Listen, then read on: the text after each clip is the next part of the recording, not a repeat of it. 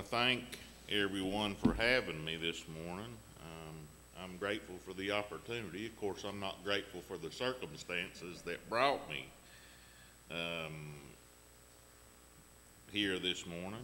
Um, but again, uh, thank you all. Um, this morning, um, I am, our lesson is going to be coming from the book of Job. And I know everybody is familiar with the story of Job, um, how the Lord allowed Satan to test Job, and a lot of calamities befell Job. Um, this morning, I would like to look at the life of Job and look at the things that Job learned and look at how we can apply those things to our lives. Uh, if you would this morning, turn with me to Job uh, chapter 3, verses 25 and 26. Job chapter 3, 25 and 26. And this is Job speaking. And Job says, For the thing I feared has overtaken me, and what I dreaded has happened to me. I cannot relax or be calm. I have no rest, for turmoil has come. Let's go to the Lord in prayer this morning. Dear Heavenly Father, we're just so thankful for this day and the many blessings of life that you've bestowed upon us, dear God. We're just thankful for the opportunity uh, that you've given us to come into your house and to learn more about you, worship you, and sing praises unto your name. Dear God, be with us as we continue through this service. Help us open our hearts and minds to your word. Be with me as I deliver the message this morning. Again, we're mindful of all those that are sick. We just pray that you would reach down and touch them with their healing hand, dear Heavenly Father, so that they could all be with us again. Lord, we again uh, we want to thank you for the many blessings you've given us, but we're so thankful, dear Father, for your Son and our Savior Jesus. In his sweet and precious name we do pray. Amen. There is an interesting book that has come out recently, and this book tells people how to deal with life's worst case scenarios. And of course, the name of the book is the Worst Case Scenario Handbook. Um, but this book has several chapters in it, and I'll just go through and read um, some of the things that this book tells you how to deal with. Um, there is a chapter on how to escape from quicksand. There is a chapter on how to hotwire a car, in case you ever have to do that. How to fend off a shark.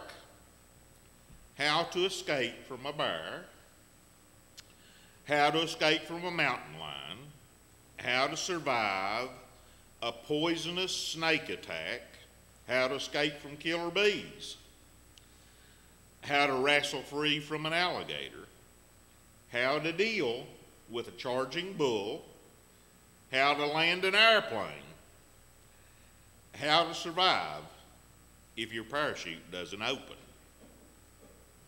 how to survive an earthquake, how to survive when you're adrift at sea, how to perform a tracheotomy, how to take a punch, how to win at a sword fight, and how to jump from a moving car. Now, it's possible that we'll never face any of the scenarios that I just mentioned, but it is possible that you could find yourself in the same place that Job found himself. In Job's mind, the worst thing that could have happened happened. Job lets us know that even when life was good and things were going his way, he was always afraid that something like this would take place. What Job faced in his life was a worst case scenario. What Job endured, um, as we read about in the book of Job, was horrible. But what Job learned was priceless. I want us to join Job this morning for a look at some of the lessons that can be learned from the experiences he had. What he learned will help you and me when we face the difficult days of life. And there are going to be difficult days of life. Sitting here this morning, some of us might have a worst case scenario in mind. That thing that we think that could be worse than anything else in our life. At the very least, there will be times when the bottom is going to fall out of your life. And you'll enter into this valley of affliction. When this happens, you need to know what to expect and how to react. The book of Job teaches us how to deal with life's worst case scenarios.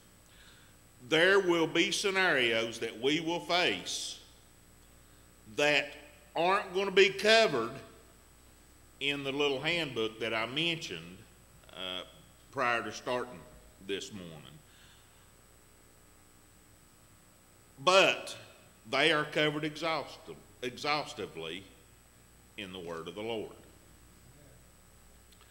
So let's take a brief journey through the life of Job this morning as we think together about the thought dealing with life's worst case scenarios. First, we want to look at what kind of man Job was. Uh, in the first chapter of the book of Job, uh, we see what the scripture says about him, and we even, it is written what God said about Job. Uh, if you look at me at Job chapter one, with with me at Job chapter one, verses one through three, uh, and then we'll jump down later in that chapter. It says there was a man in the country of Uz named Job. He was a man of complete integrity who feared God and turned away from evil. He had seven sons and three daughters.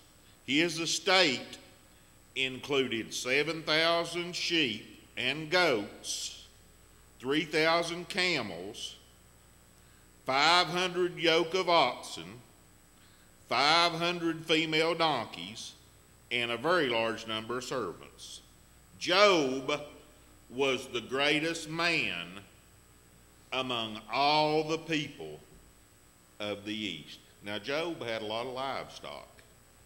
Uh, Sandy's got 14 chickens, and I think she's got a lot of, a lot of livestock. Um, but if we'll jump on down to verse 8, we'll see what God Himself says about Job. God tells Satan, no one, no one else on earth is like him, a man of perfect integrity who fears God and turns away from evil. So, looking at our scripture this morning, uh, we know that Job lived a godly life. Job lived a good life. And Job lived a, best, a blessed life or grace life as well. Job was a good man and a rich man. He had definitely been blessed by the Lord. And a life lived for the Lord is a thing of beauty. When a person dedicates their life to the Lord, it brings in them in, into a position to experience the Lord's grace and His blessings. in a fantastic, wonderful way.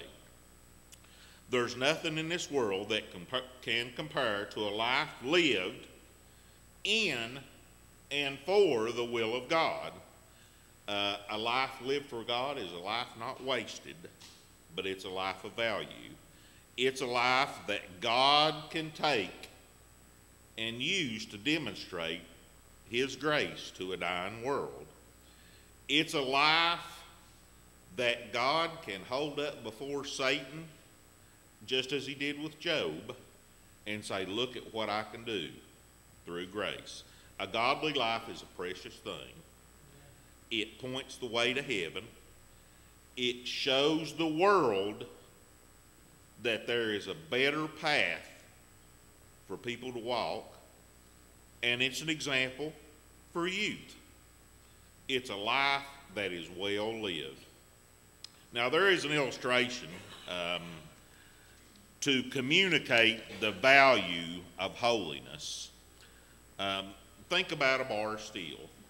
Now, a bar of steel is worth about $5. Now, you can take that bar of steel and make horseshoes out of it, and it's worth about $10 then if you get the horseshoes made. You can take that same bar of steel and make needles out of it, and it's worth about $350. You can use that bar of steel to create the delicate springs that are in watches, and that bar of steel will yield $250,000. But us as Christians are like that $5 bar of steel. Our commitment to holiness will determine whether we become Christians of minimal, moderate, or significant spiritual influence. Imagine the value of a godly life in our world today. How would you say that your life stacks up against Job's? It is possible, and it is the will of God for every person in this room to live a godly, a good, and a graced life. Are we doing that this morning? Now let's take a look at some of the calamities that befell Job. Uh, if you would this morning, we'll look back at Job, the first chapter again, and I am going to read verses 13 through 19 to begin with, and we'll see just exactly what happened to Job. Beginning with verse 13, it says, One day when Job's sons and daughters were eating and drinking wine in their oldest brother's house, a messenger came to Job and reported, While the oxen were plowing and the donkeys grazing nearby, the Sabaeans swooped down and took them all away. They struck down the servants with the sword, and I alone have escaped to tell you. While this messenger was still speaking, another messenger came and reported God's fire fell from heaven. It burned the sheep and the servants and devoured them. And I alone have escaped to tell you. That messenger was still speaking when yet another came and reported. The Chaldeans formed three bands, made a raid on the camels, and took them away.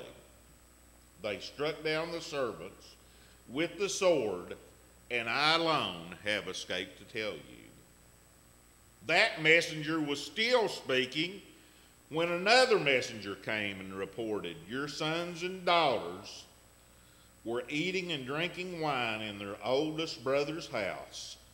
Suddenly, a powerful wind swept in from the desert and struck the four corners of the house. It collapsed on the young people so that they died, and I alone have escaped to tell you. Now, Job had some terrible, horrible calamities befall him that day. Uh, Job had lost everything. He had lost his family. Uh, he had lost his fortune. Um, so, obviously, Job was devastated. But not only that, let's jump forward a little bit into chapter 2 and see what else happened to Job. Job chapter 2 and verse 7. So Satan left the Lord's presence and infected Job with terrible boils from the soles of his feet to the top of his head.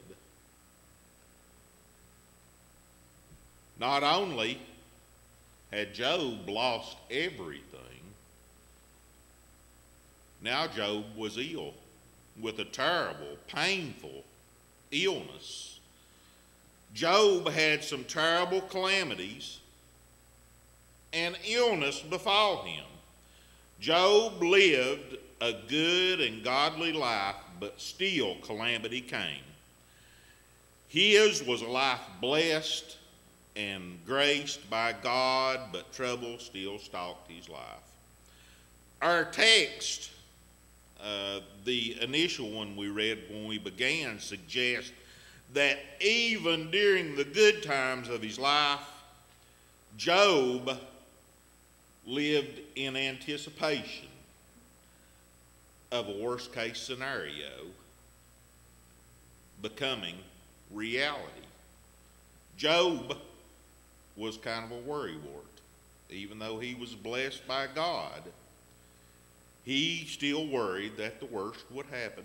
And the worst did happen.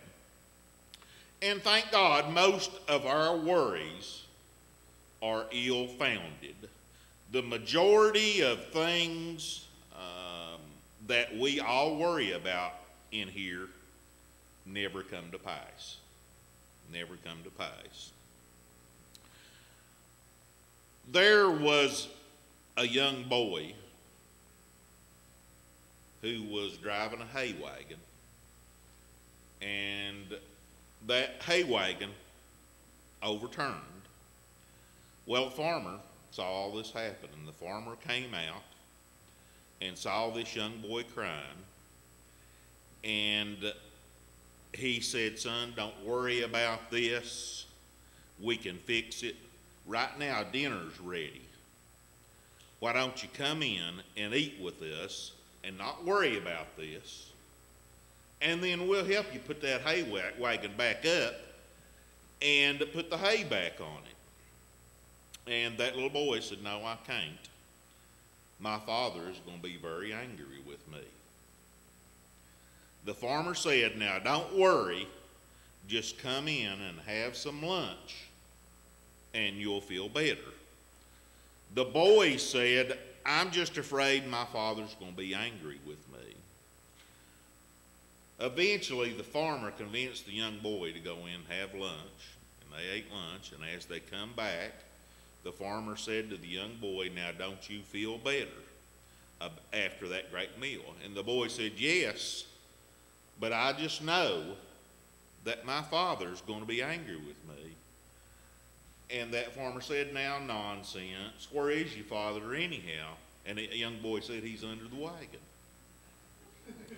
Uh,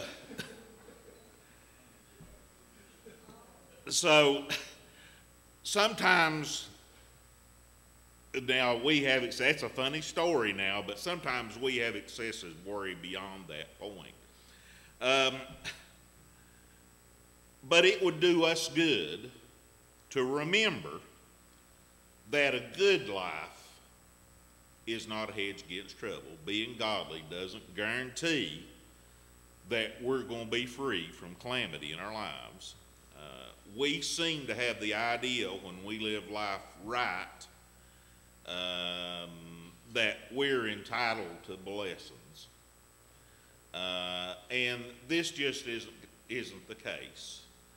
Um, some of God's most precious followers have endured the greatest of afflictions. Uh, I mean, we can look at the Apostle Paul. Uh, we can look in, into the Old Testament, Daniel. We can look at the Hebrew three, Shadrach, Meshach, and Abednego, who were in the fiery furnace. We can look at David and look at the trials in his life. Even our Lord Jesus was called a man of sorrows in the book of Isaiah. Why should we feel that we're exempted from the troubles of life? Now, we really need to face the truth. And the truth is that bad things do happen to good people. Uh, and that's just a reality of life. But regardless what we expect life to bring along, we don't need to sit around and worry about it. Uh, there is never a place in our life for worry. Worry and needless cares show a profound lack of faith on our part on the ability of God. In fact, worry is a colossal waste of time. Mark Twain said,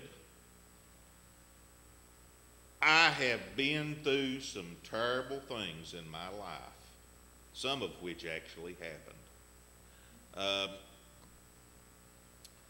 now, let's look at the classroom of Job's life.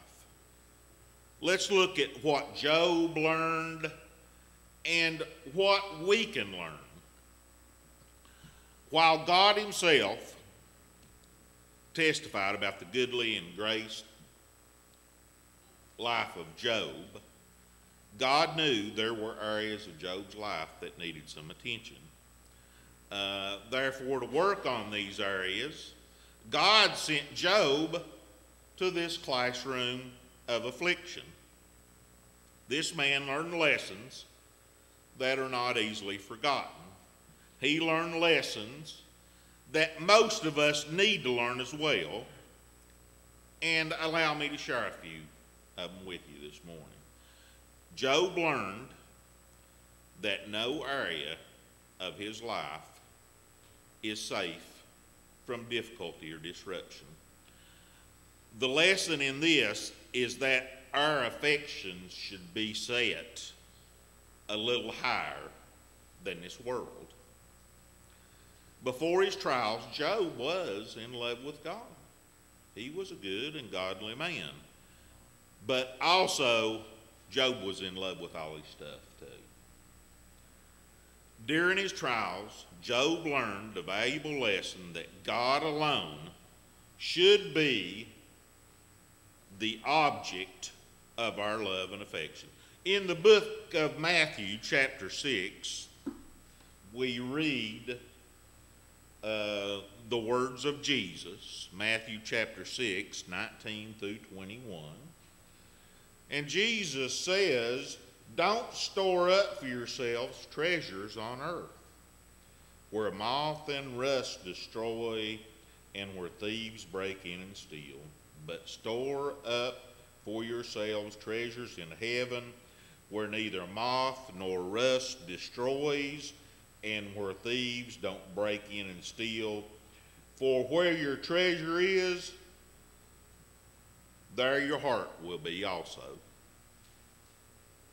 What has your attention and your affection this morning? Is it God?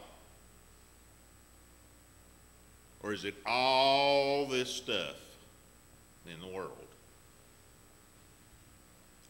Job learned that God's purpose in trial isn't to break us, but to grow us.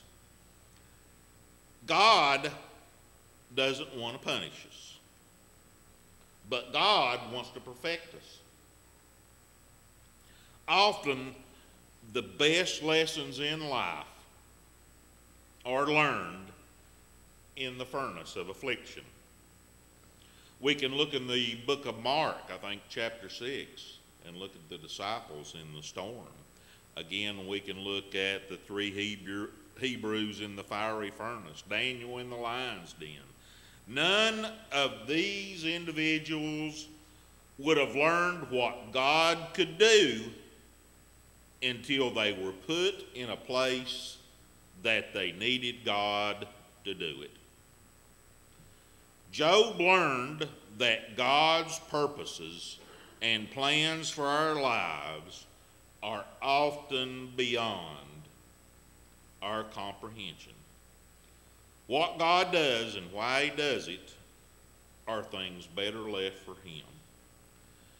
Seeking to understand the reasons and the motives of the Lord for what He does and allows in our lives is like trying to understand how electricity works.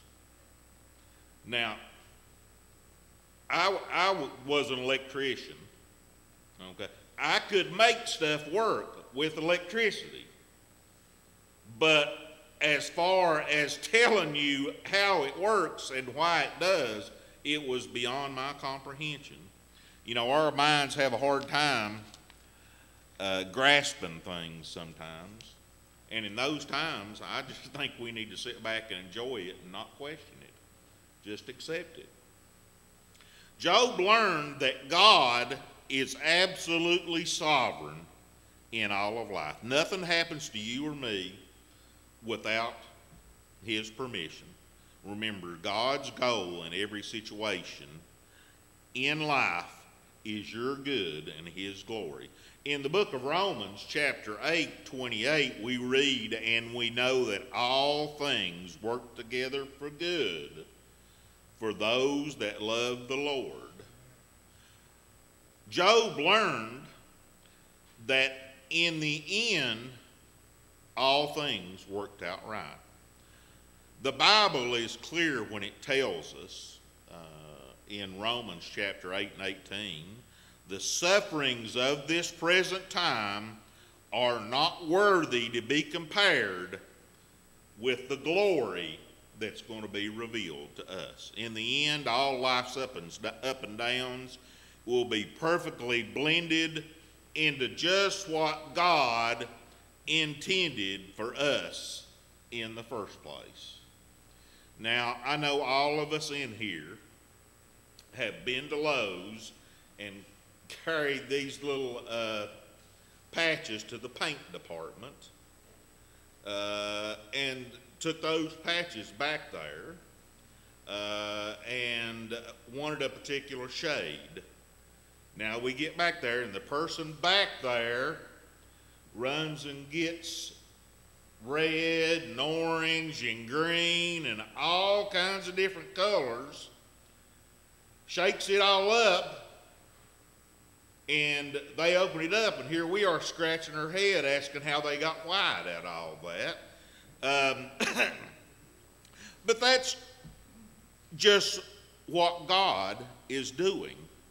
He's taken all the events in our life and He's given us what we need. Lastly, this morning, uh, let's look at the completeness of Job's life. Let's see the result. What happened after Job was in the valley of affliction? It was a time of personal repentance for Job. Uh, in Job chapter 42, verse 30, 40, I mean, chapter 42, verse 6, we see Job say, I abhor myself and repent. Job says, I'm disgusted with myself and I'm sorry. Job finally came to realize that he hadn't been perfectly right because God had not been in absolute first place. It was a time of revival in Job's life. Notice that Job repented and was placed in the right relationship with God before the Lord blessed his life again. He didn't wait on fair weather to get right with the Lord. uh, he had a revival in his heart when he was still in the valley. It was a time in Job's life of powerful restoration. God gave Job back double everything he lost. God blessed him in a mighty way.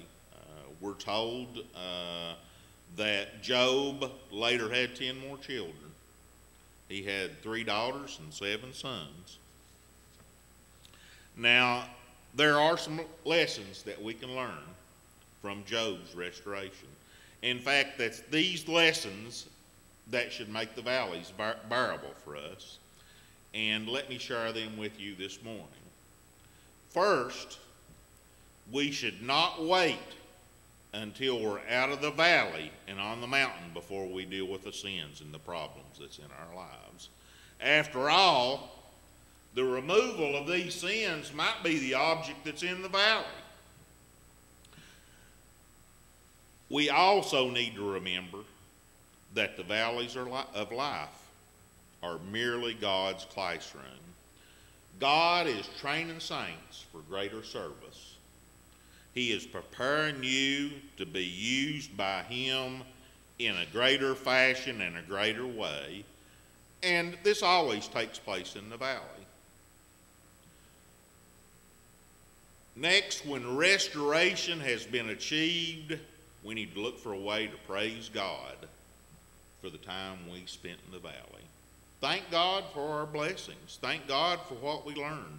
Regardless of how dismal and dark the valley was, God was always there with us as we traveled through it.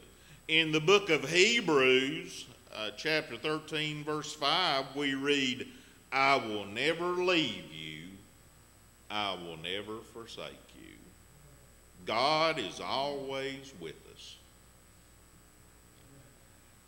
And lastly, what we can be learned from Job's restoration is no matter how bad things become, they're not going to last forever as you travel through your valley, remember that the exit is always just right ahead.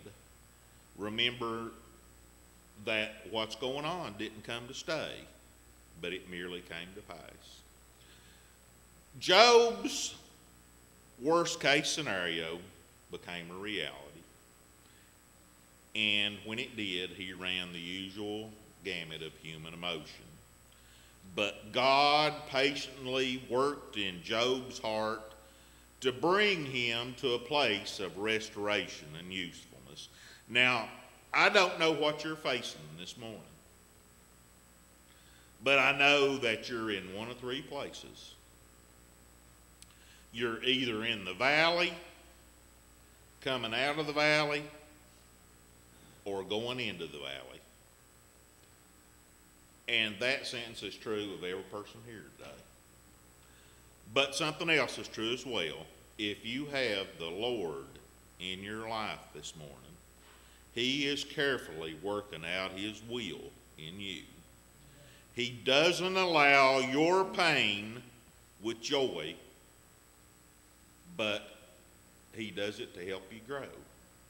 In the book of Lamentations, uh, chapter 3, verses 31 through 33, we read, For the Lord will not cast off forever. But though he cause grief, yet will he have compassion according to the multitude of his mercies. For he doth not afflict willingly, willingly nor grieve the children of men. Therefore, in your most difficult days, you can cast your cares upon the Lord. In the book of First Peter, we read, casting all your care upon him. You know why? Because he cares for you.